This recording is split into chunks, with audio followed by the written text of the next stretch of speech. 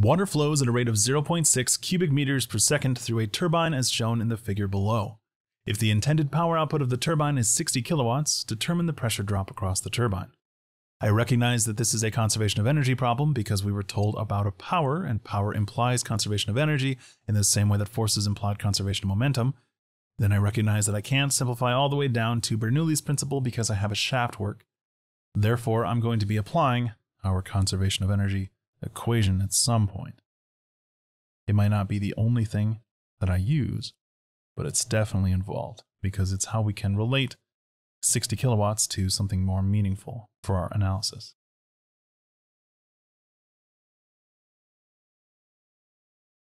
Next, I will establish my control volume, and I'm going to define my control volume like this. And I will establish some assumptions, let's say over here.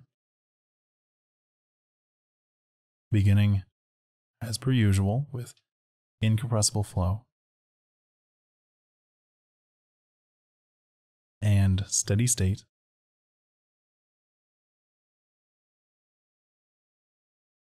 And then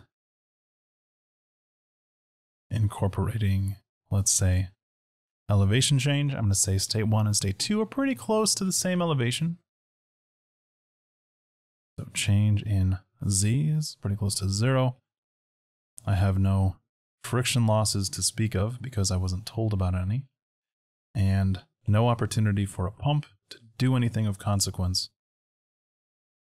And I also recognize that I've forgotten alpha. And let's assume that we have turbulent flow. For turbulent flow, which remember, for our purposes, if you aren't told enough information to deduce otherwise, it's turbulent for now. Once we start getting the tool set to be able to calculate whether the flow is going to be laminar or turbulent, we can actually involve that. But for now, if you don't know otherwise, it's turbulent. So if we're treating this as turbulent flow, turbulent, then alpha is about 1. Okay. So, so far, we've been able to eliminate this term and this term and this term. Can we neglect the changes in kinetic energy like we did last time? No, because we have a change in cross-sectional area. We were told a diameter at the inlet and the outlet, and that change in diameter is going to mean, because we have the same mass flow rate and incompressible flow, that we have a different velocity at states 1 and 2.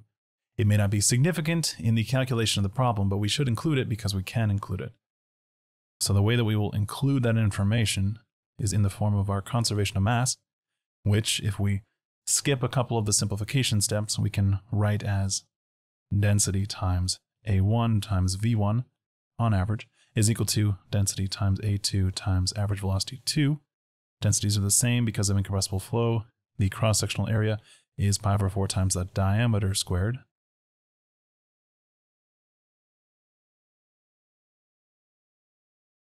And then pi over 4 cancels, at which point average velocity 2 is going to equal average velocity 1 times d1 over d2 quantity squared. Now I got a little bit ahead of myself because I assumed while I was simplifying down here that I had V1, but I don't. I have the volumetric flow rate. So let's get rid of this and let's leave the pi over 4 for now because the volumetric flow rate is the cross-sectional area meaning both of these terms are the volumetric flow rate. Therefore, I can write the volumetric flow rate at state 1 as 4 times q divided by pi times diameter squared at state 1, and average velocity at state 2 as 4 times the volumetric flow rate divided by pi times diameter 2 squared. So if I wanted to, I could compute a number, plug those in numerically, but you guys know that I like to work as far as I can symbolically before plugging in any numbers, so I'm going to leave them symbolically. Then our turbine head here, remember, is the specific work over gravity. Therefore, work could be written as head times gravity, and power can be related to specific work by taking mass flow rate times specific work, which means power can be written as density times volumetric flow rate times specific work, which could be written as density times volumetric flow rate times Hg. So we are taking our mass flow rate, we are multiplying by our specific work, which is the head multiplied by gravity. And that power term is actually what I have, not what I'm looking for. What I need to be able to plug into the conservation of energy is for this relationship to be written out, solved for the turbine head. So turbine head is going to be the power of the turbine divided by the density times volumetric flow rate times gravity.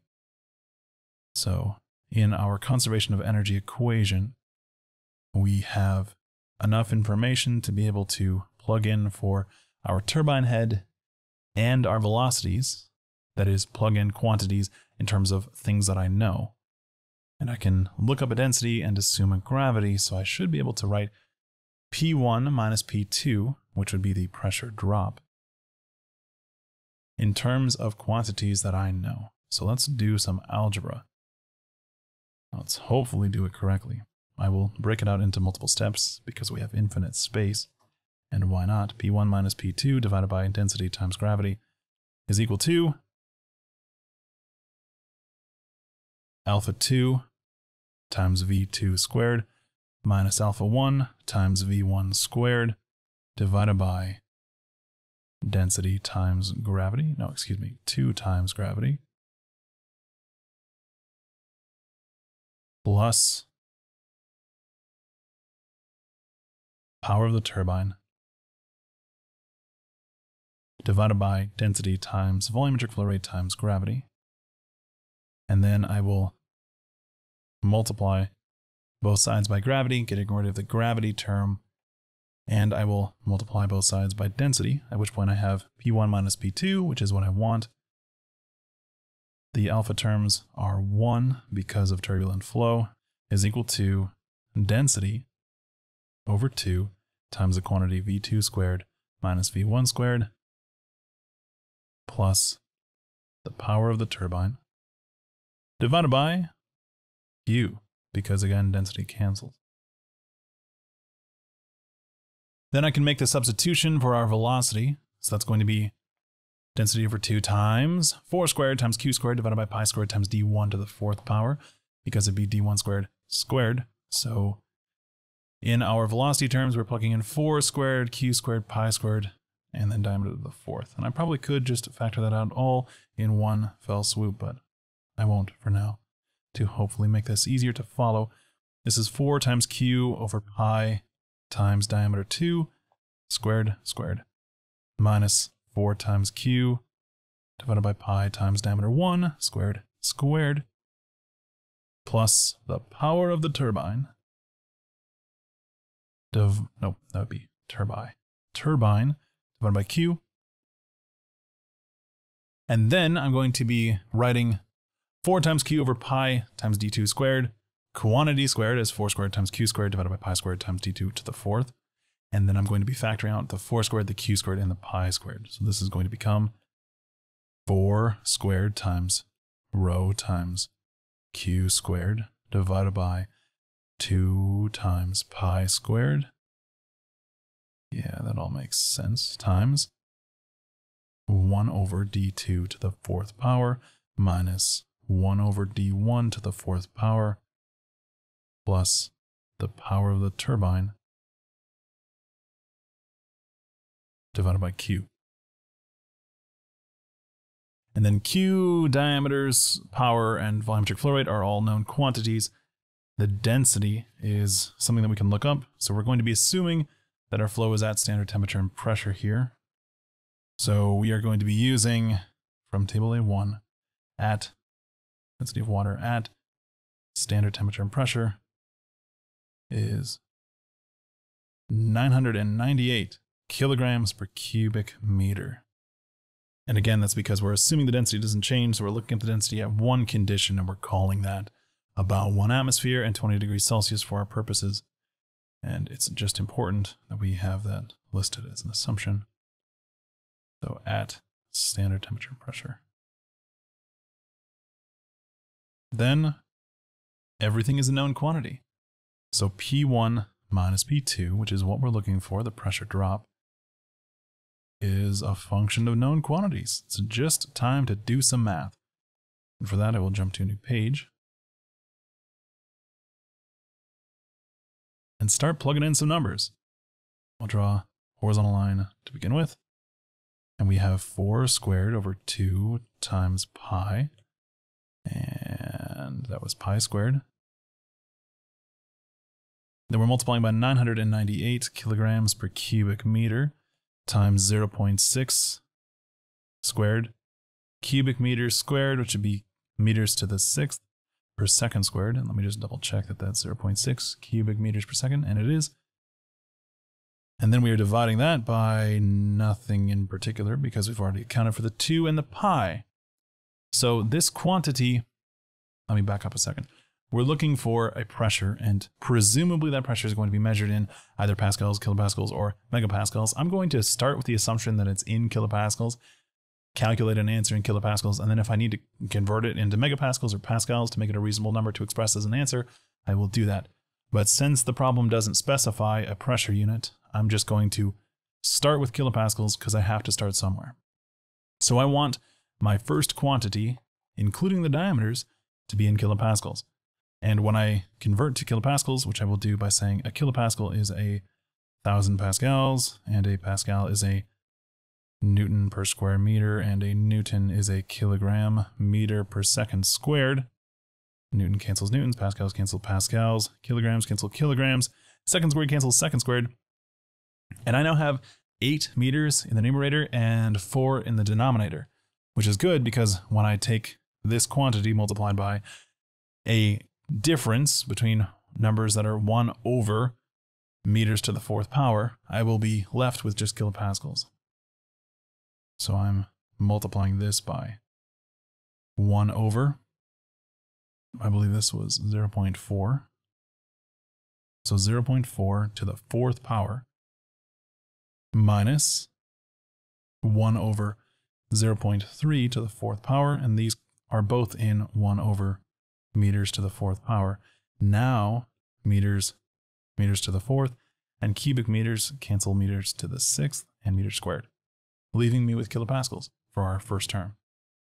And then to that quantity, we are going to add power divided by volumetric flow rate. That power was 60 kilowatts. So 60 kilowatts divided by 0.6 cubic meters per second. And we want this in kilopascals, presumably. So I will so I will start at kilopascals and work backwards and then break everything into their component parts. Kilopascal is 1,000 pascals. And a pascal is a newton per square meter. And a kilowatt is a 1,000 watts. That's not what I wanted, iPad is a thousand watts, and a watt is a joule per second, and a nope. Why are you doing that? Look, it really wants me to look up. Good thing I'm not in a horror movie. Joules cancel joules, watts cancel watts, newtons cancel newtons, pascals cancel pascals, kilowatts cancel kilowatts, seconds cancel seconds, meters and square meters cancel cubic meters, leaving me with kilopascals. And I can get rid of these thousands here because they cancel. So at this point, everything is done except for computing a quantity. So calculator, you are needed once again. I'm going to just arbitrarily pick some parentheses out front here, and then I'm going to take 4 squared times 998 times 0.6 squared Take that entire quantity divided by 2 times pi squared, which is a lot of clicks on my calculator, emulator, times 1000. And then I'm multiplying that quantity by 1 over 0.4 to the crap. I hit the clear button instead of the caret button. Let's start over. 4 squared. No, parentheses, John. 4 squared times 998 times 0.6 squared divided by 2 times pi squared times 1000 close parenthesis close parenthesis times 1 over 0.4 to the fourth power. And let's add some more parentheses just for good measure. Minus 1 over 0.3 to the fourth power. And close parentheses. Is that the correct number of parentheses? No. How about now? Okay, cool. And then we add to that 60 divided by 0.6. And we get 75.423. Let's just double check that all of that looks correct. 4 squared, 998, 0.6 squared, divided by 2 times pi squared, times 1000. Probably could have just written 2 in the numerator instead of 4 squared divided by 2, but what's done is done. And everyone knows you can't change anything in your calculations once it's written. So we get 75.423. And that's a quantity in kilopascals that represents the difference in pressure between states 1 and state 2, which is the pressure drop. And with that, we are done with this problem.